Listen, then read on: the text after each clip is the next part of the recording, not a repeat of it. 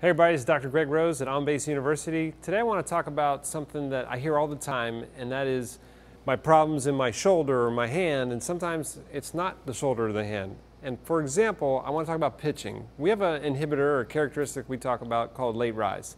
And you can see I got two MLB pitchers up here from the past, and I got, I got uh, them both at, at foot touch. So when their stride leg first touches the ground. And you're going to see two types of animals. You're going to see one where the hand or the ball, the throwing hand, is not above the elbow line of the throwing elbow, or you're going to see one where the hand is above the throwing elbow line. So in other words, I take my pitcher to foot touch, I draw a horizontal line through their elbow, and I look to see, is the hand below the line or above the line?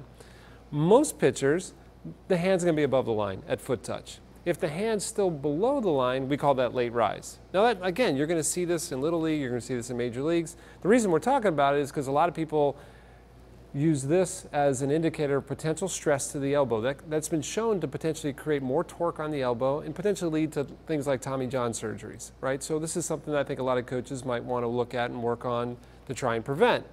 Now, we can talk about all the reasons why that creates torque, but that's not what I want to talk about. I want to talk about the cause of this. A lot of times people say, well, it's just, it's an arm problem, it's a shoulder problem, it's a, they, they, they can't rotate, they can't do something with their arm.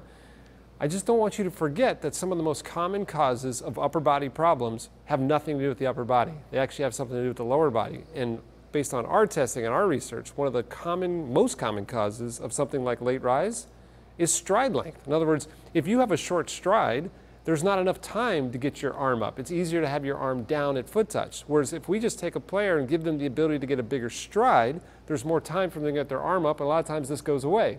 So believe it or not, something like a late rise could have nothing to do with your arm and your shoulder. It could have something to do with something that's limiting your stride length. That could be ankle inversion or eversion or ankle range of motion. This could be flexibility between doing the splits or being able to do whatever it takes you to get to a bigger stride.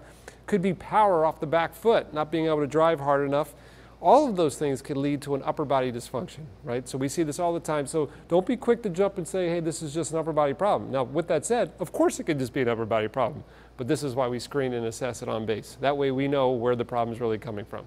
Hope this helps you, help some of your pitchers.